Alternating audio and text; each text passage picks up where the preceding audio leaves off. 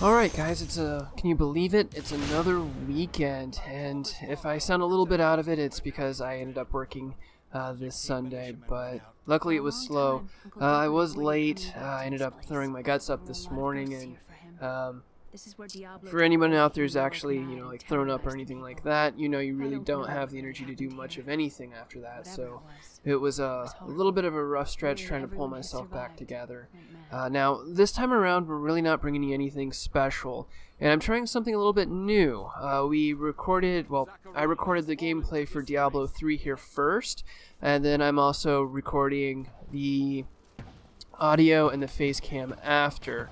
Uh, and the reason why I'm doing that is when I tried putting it all together, it lagged my computer to high hell. So once I figure all of that out, then I'll go ahead and start recording the face cam and all of that all at the same time that you guys you you know you can get like some really good reactions and stuff like that uh, that's just going to take a little bit of work on my part and i will figure that out sooner or later but no i've actually got a little bit of history with diablo uh, funny enough as it is the Diablo series was the first series that I really ever played, and I remember playing it as the first, the first Diablo game. Um, we had, I had actually gotten the game as a gift from a, a, an old buddy of mine, way back in the day, and I remember that iconic thing where when you talk to Deckard Cain, he was like, "Stay a while and listen."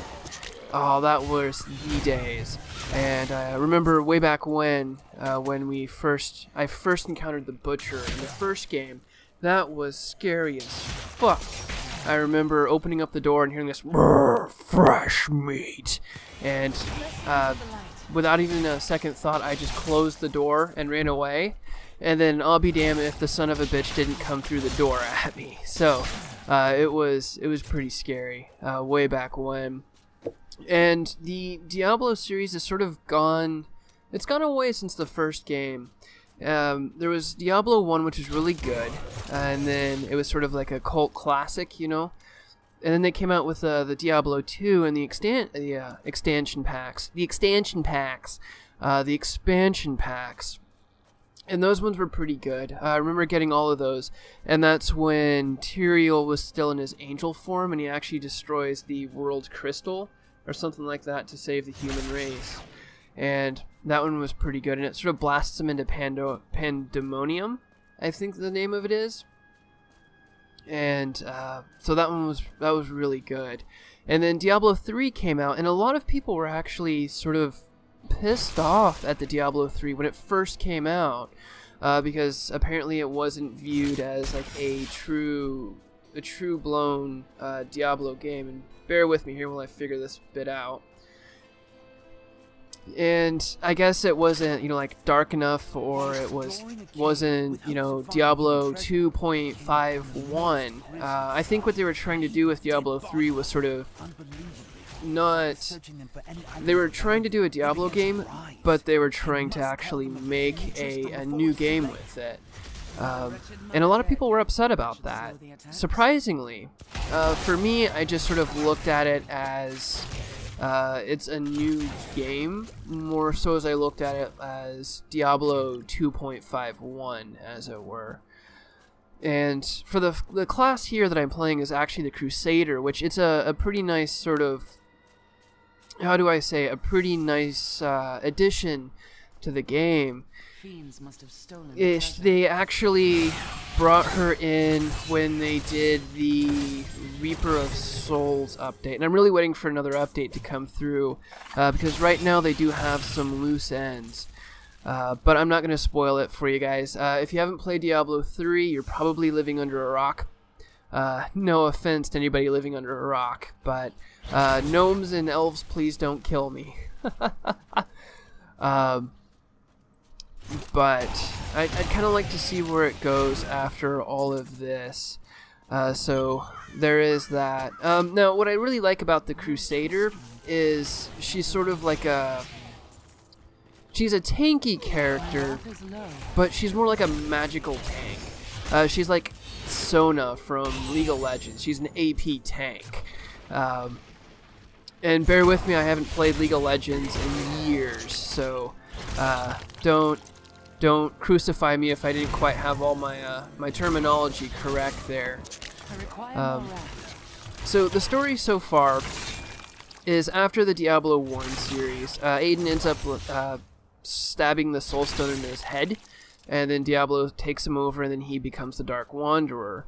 And then in Diablo 2, you're destroying the Soul Stones, and then you're chasing down the Dark Wanderer, who's actually Aidan, or the hero of the first game a little bit of uh, lore there, which I guess that's one reason why I really like the Diablo series as much as I did way back in the day.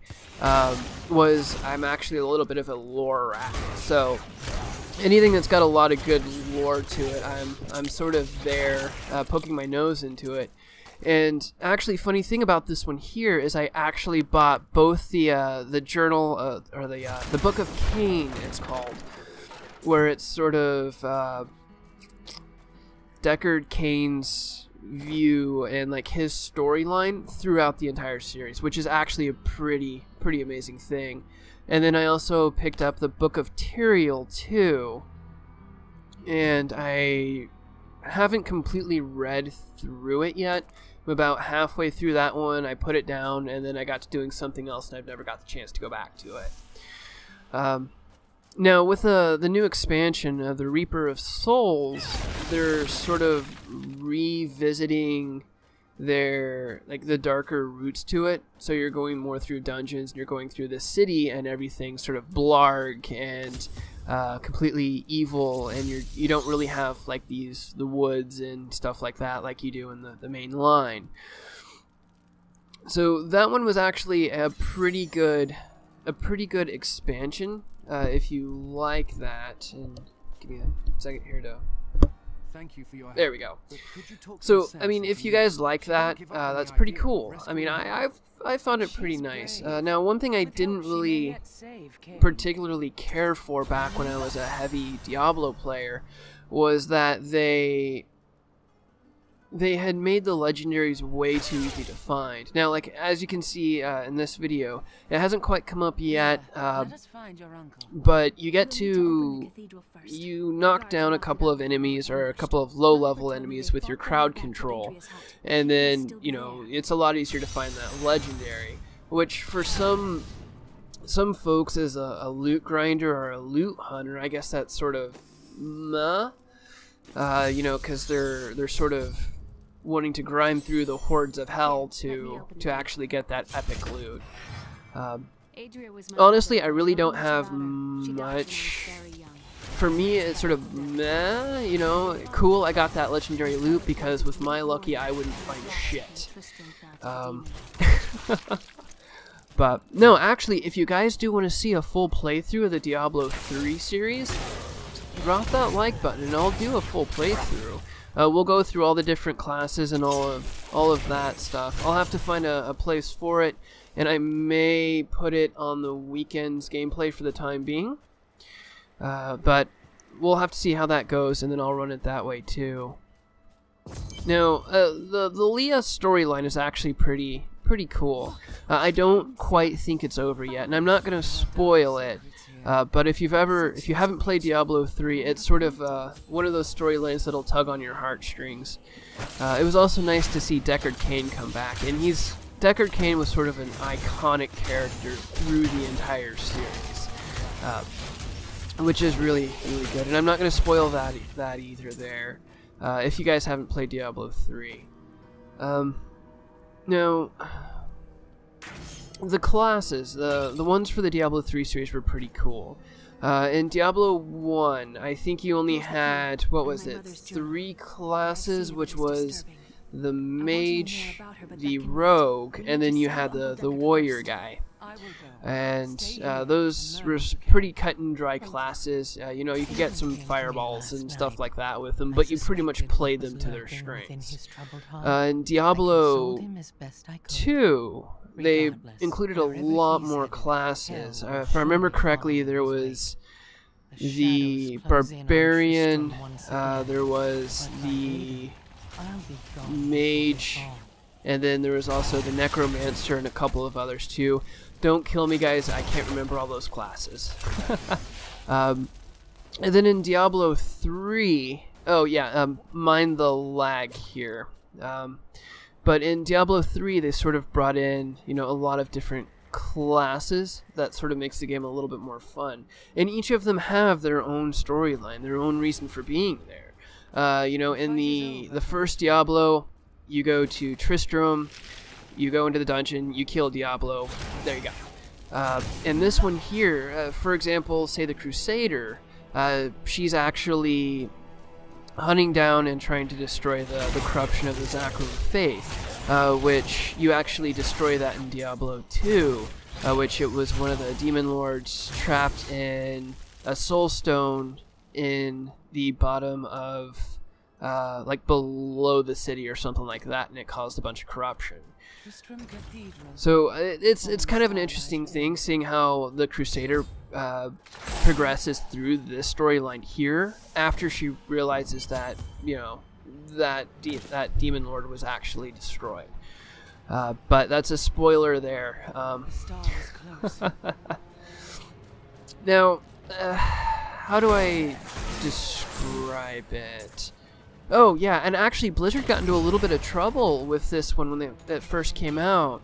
They had actually had an auction house where you can just go in and you know spend real money to get a uh, to get you know gear and stuff like that. And a lot of people were upset because it actually took it away. Ah, yeah, here. Uh, I actually end up destroying those guys there, and then they drop some epic loot like right then and there.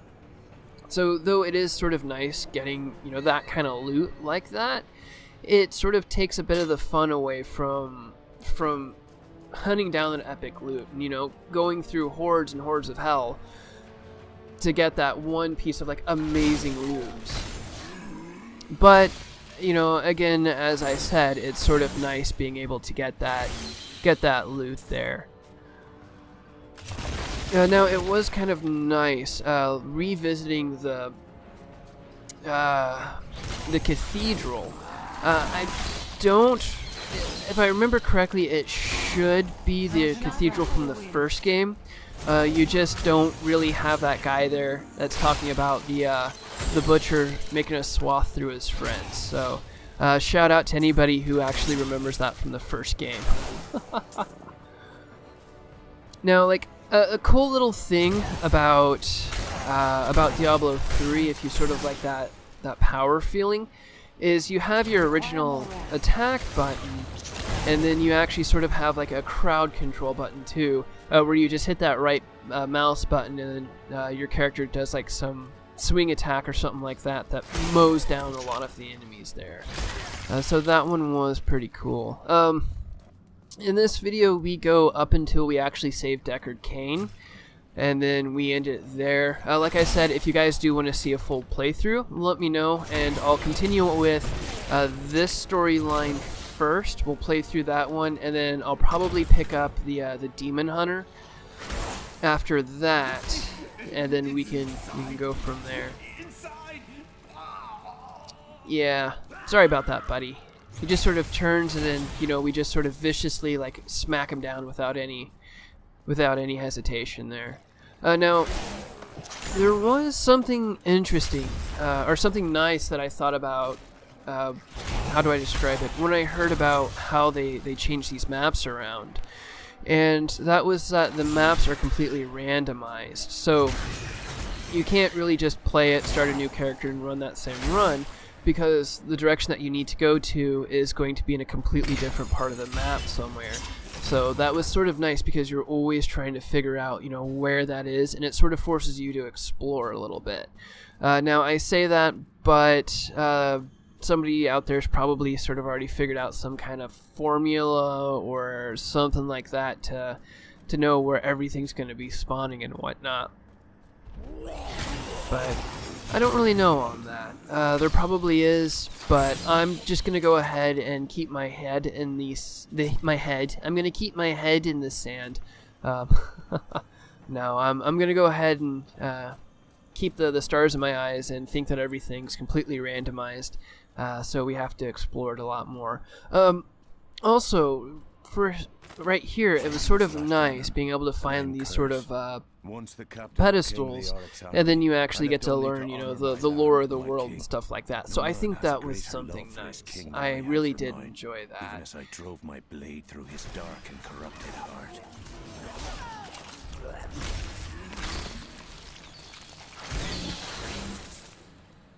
And if I remember correctly, uh, you were actually fighting a couple of the lesser evils in this one, which were sort of some of the last demon lords standing throughout the games.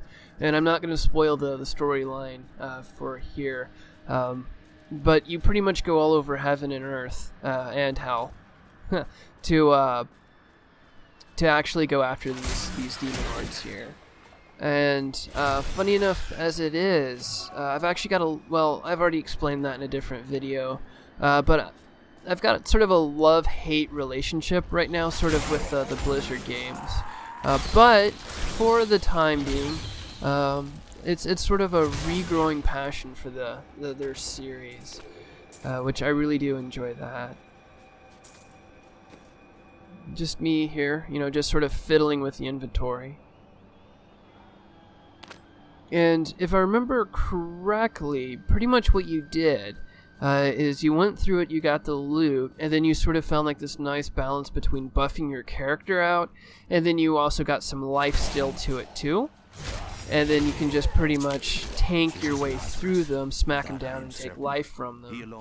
Uh, and that one was actually actually pretty nice instilling the notion of an imminent attack by Westmarch. I never really did any PvP with this game, though. The counselors I don't know.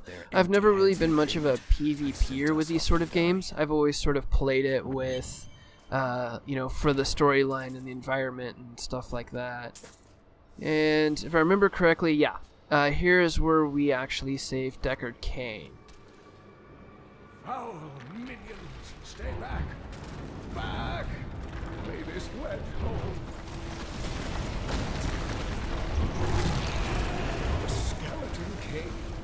The power of the fallen star awakened me, and soon all will suffer as I have suffered. Gods, bring me his bones!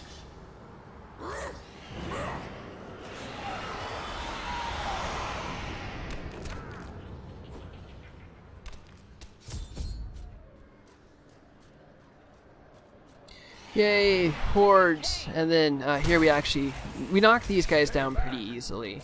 Uh, but if I remember correctly, the first real boss we fight, the Skeleton King, uh, he can do some damage and you're sort of running around trying to survive that one. Stay a while and listen. oh, thank you, but why did you risk yourself for me? Your niece asked me to find you, and I agreed. Yeah, and if I remember correctly, it sort of the video sort of ends uh, here pretty soon. So, uh, once we get through here, we'll go ahead and start the closer. Alright guys, well we'll go ahead and start the closer then. Uh, if you guys are seeing this video as a standalone video, I do welcome you guys kindly uh, to my series and my videos. Make sure you hit that subscribe button and let me know I'm doing something right here. Uh, if you guys are, you know, stuck with us so far, I do thank you kindly from the bottom of my heart for being with us. Uh, stick with us for you know some more some more content. And with that being said, thanks for tuning in. And as always, you guys stay safe out there.